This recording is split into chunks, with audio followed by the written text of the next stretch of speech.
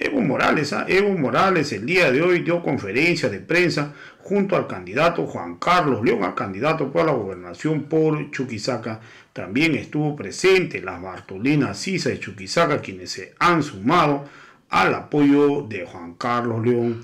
Evo Morales mencionó que la unidad es importante para poder ganar estas elecciones subnacionales. Evo Morales mencionó que hay mucha confianza, hay mucha confianza para ganar en Chuquisacas estas elecciones. También Evo Morales dejó claro que hoy pues existen empresarios de Santa Cruz que están pues detrás del candidato opositor prácticamente financiando la campaña. Vamos a escuchar, vamos a escuchar eh, las conferencias de prensa que dio pues Juan Carlos León, Evo Morales, juntos a la Bartolina Sisa de Chuquisaca. de Chuquisaca, junto a la Dirección Nacional, junto a CESUCB, queremos decir a todo nuestro pueblo, a toda la población chuquisaqueña, a todo el departamento de Chuquisaca. El MASI PSP ha nacido de estas organizaciones sociales, ha nacido de CB, de las Bartolinas, que hoy estamos aquí presentes para decir a todos mis hermanas, mis hermanos del departamento de Chuquisaca, nosotros hemos parido como organizaciones sociales nuestro brazo político que es Movimiento al Socialismo, instrumento político por la soberanía de los pueblos. Por eso quiero decir a todos nuestros hermanos y hermanas afiliadas, tanto a la única, afiliadas a las Bartolinas, nuestro único candidato que tenemos nosotros, hermanos y hermanas, es el Juan Carlos León. No hay otro candidato. Hay veces, muchas veces quieren confundirlos, que hay es lo mismo. Damián es lo mismo que Juan Carlos León dice. No es, hermanos, de nosotros, de las organizaciones sociales, nuestro único candidato es MAS y PCP. Las organizaciones sociales no somos ni las Bartolinas ni CESUC-CB afines del MAS, sino el más es de nosotros, de nuestra organización. Por eso tenemos nuestro único candidato, Juan Carlos León. A todo el pueblo de Chuquisaca le pido, a todas nuestras afiliadas, le pido que el 11 de abril votemos por nuestro candidato Juan Carlos León, así para ganar y avanzar, porque ahí está el trabajo que se ha demostrado a la cabeza de nuestro presidente Evo Morales a nivel nacional, el avance de nuestro departamento, el avance de Bolivia. Para continuar con eso, después de golpe de Estado, hoy queremos seguir con el desarrollo de nuestro departamento. Por eso le pido, hermanos y hermanas, como nuestro candidato único es Juan Carlos León, aclaramos aquello y el voto consciente será logrado y triunfado el 11 de abril eh, en las elecciones respectivas. Con esas palabras le voy a ceder a nuestro hermano ejecutivo de CESUCB, que también para mostrar la unidad entre todas las organizaciones.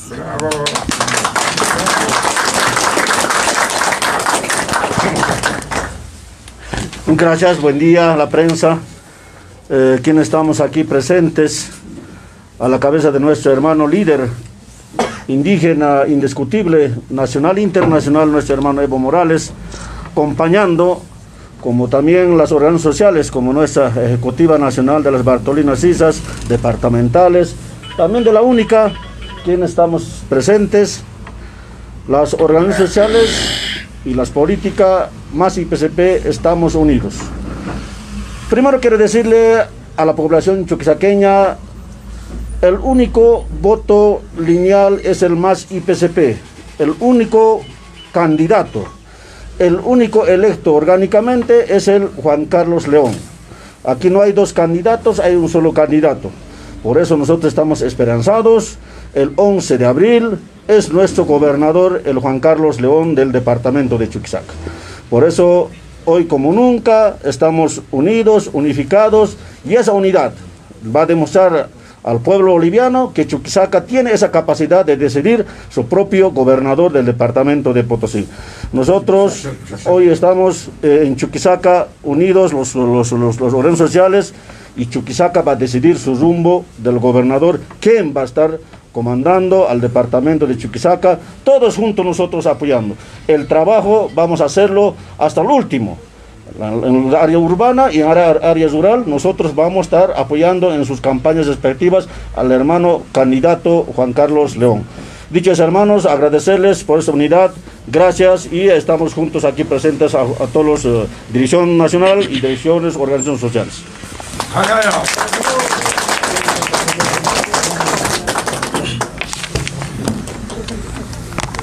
Bueno, muchas gracias hermanos de la prensa. Eh, primero agradecer a la Dirección Departamental del MASI PCP, hermano Mauricio Dinaya. Nos invitó me invitó a estar acá, a acompañar eh, a nuestro candidato a la gobernación, hermano Juan Carlos León. Pero también saludar la presencia o el acompañamiento de nuestro hermano ejecutivo, la única del departamento de Yuquisaca, hermana ejecutiva de la Bartolina del departamento, también hermano Coronado, la, miembro de la Confederación Sindical Única de Trabajadores Campesinos de Bolivia, y saludar, felicitar a la hermana Flora Aguilar, la amante ejecutiva de la Confederación de Hermanas Bartolinas de Bolivia. Su elección representa al departamento de Chuquisaca.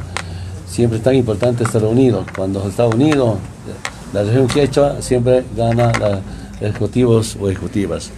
Igualmente al hermano Eber Rojas, nuestro ejecutivo de la Confederación Sindical Única de Trabajadores Campesinos de Bolivia. Yo decía antes, antes el hermano Eber andaba detrás de mí, cuando era presidente. Ahora, como afiliado a, la Confederación, yo tengo que andar detrás del compañero Eber Rojas, el Ejecutivo Nacional de la Confederación.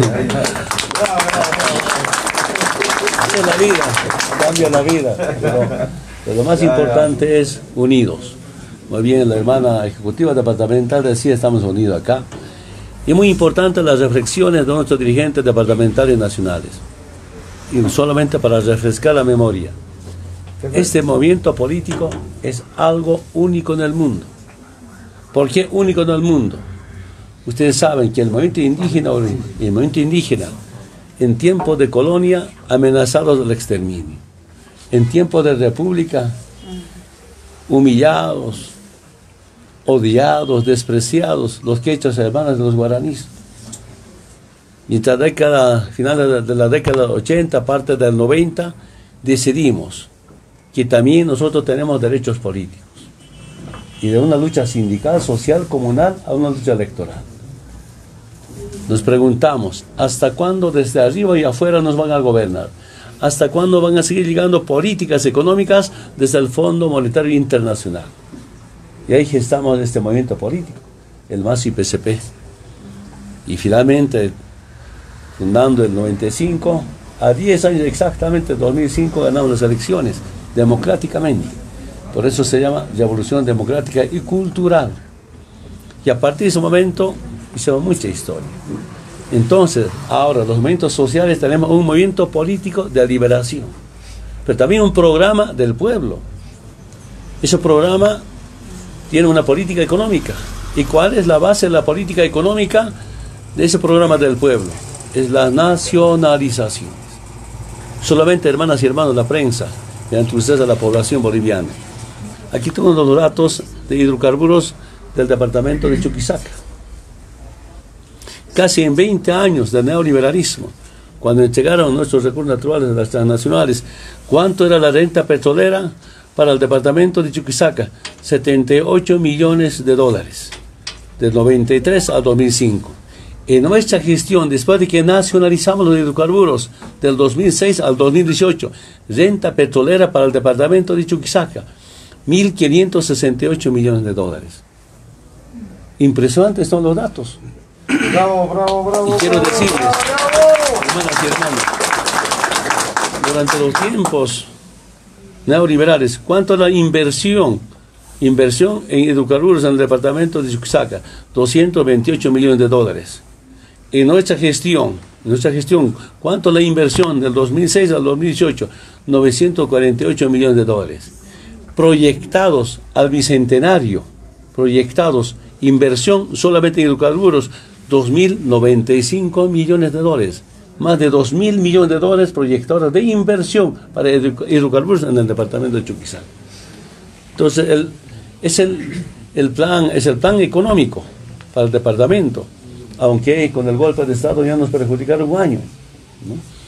quiero decirles, esa, esa política económica viene de los movimientos sociales. Muchos de ustedes, periodistas, deben recordar, antes se marchaba, se luchaba por la nacionalización. Mineros, petroleros, maestros. Saludamos a los profesionales, también se plagaron esta lucha por la nacionalización. Claro, a la cabeza de los distintos sectores sociales y el movimiento campesino indígena originaria. Aquí nuestro Ejecutivo Santos, ya un poquito de edad avanzada, debe recordar esas luchas. ¿Verdad? Era lucha por, uno, por una parte por reivindicación social, pero también por cambio estructural. En lo político que era la refundación, en lo económico la nacionalización y en lo social la redistribución de la riqueza. Entonces quiero decirles, hermanas y hermanos, este proyecto político sigue. porque el MAS sigue ganando las elecciones?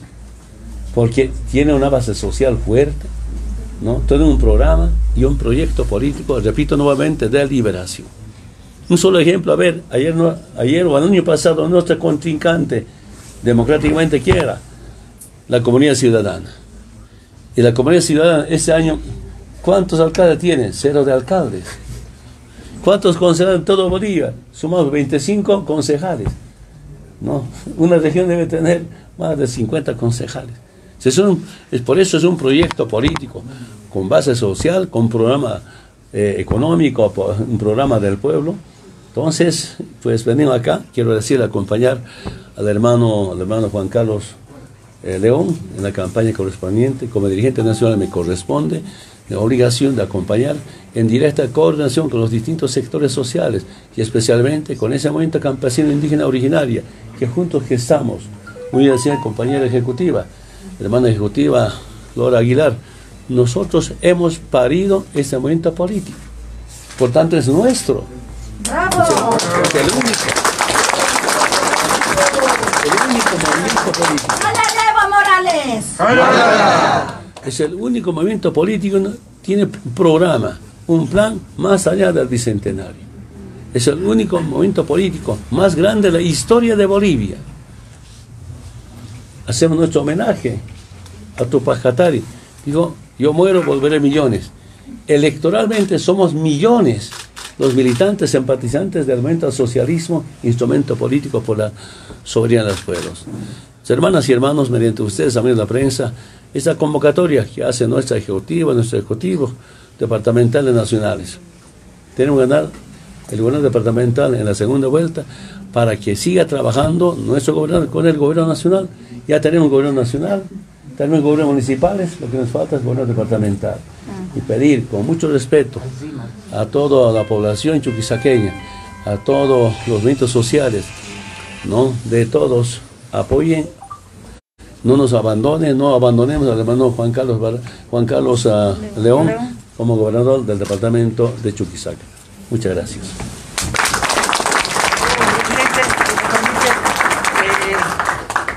Damián Condori ha manifestado que la OEA debe estar presente en estas elecciones. ¿Tendrá miedo perder eh, en la segunda vuelta? ¿Cuál es la opinión del movimiento socialismo ante ese tema? Yo tengo mucha confianza en la población. Mira, a ver, repasemos, repasen ustedes también eh, nuestra historia, nuestra corta historia como sucrenses como chuquisaqueños.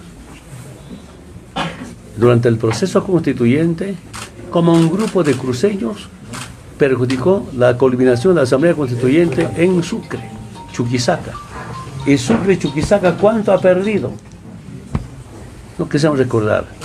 Y sospechosamente alguna gente infiltrada desde, desde el interior del país, algunos empresarios de, Santa Cruz están detrás de nuestros opositores. ojo, conste. Y solamente llamo a la reflexión a la población chuquisaqueña. Pues nuestra tarea es como identificar quienes vienen a perjudicar al departamento de Chuquisaca. Pero además de eso tenemos una enorme responsabilidad con el tema del bicentenario. Sucre es capital del Estado plurinacional. Sucre es capital del órgano judicial.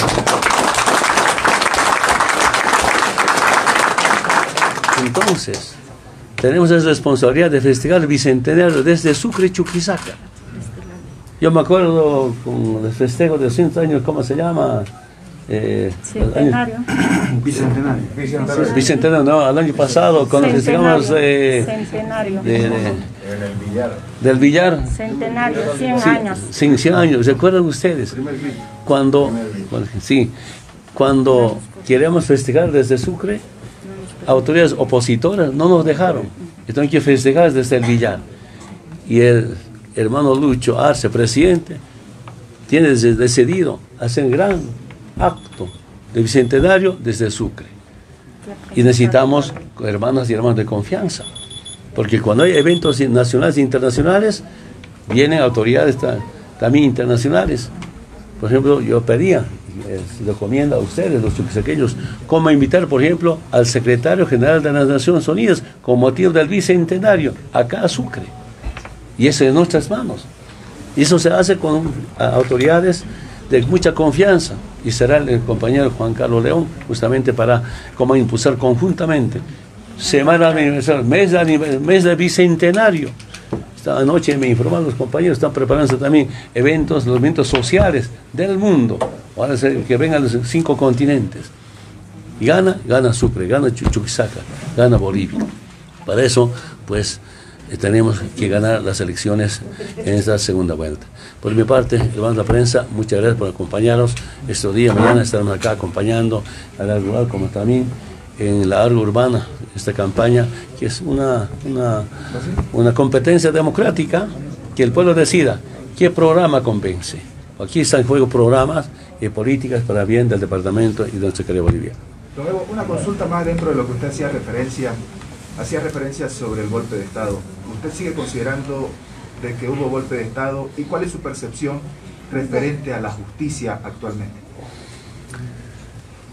Bueno, sería algo comentarles. Ustedes saben muy bien, ha cortado el mandato con, con amortiguamiento de la policía, que no respetó, artículos de la Constitución. El pedido de las Fuerzas Armadas de, de, denuncia al presidente. No solamente el día 10 de noviembre del 2019. Yo denunciaba hace dos días atrás. Antes, seis días del 10 de noviembre, retiraron armamento en la Casa Grande del Pueblo. Estaba en golpe. El domingo, en la mañana, aviones K-8 chinos sobrevolando algunos lugares de conflicto, sin que el capitán general de las Fuerzas Armadas haya autorizado levantar armas. Es decir, que siga considerando, no, todo el mundo sabe que el golpe de Estado. El negar, decir que no hubo golpe de Estado, es negar las masacres. Negar las masacres, negar la vida y la democracia. Entonces, hay ocho investigaciones internacionales de los periódicos de Estados Unidos que demuestran que hubo golpe y no fraude. Están. Pero eso es un tema aparte. Acá, repito nuevamente, estamos en la campaña para, para bien de la democracia boliviana. Muchas gracias.